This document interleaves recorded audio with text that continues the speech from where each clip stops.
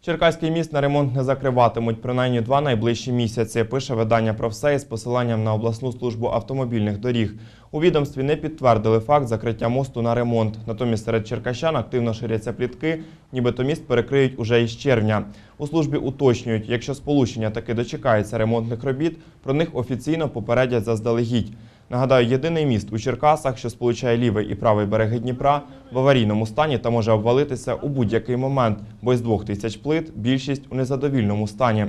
Поки аварійну переправу попередньо оглянула спеціальна комісія. Тепер обласна влада очікує на кошти для ремонту із державного резервного фонду.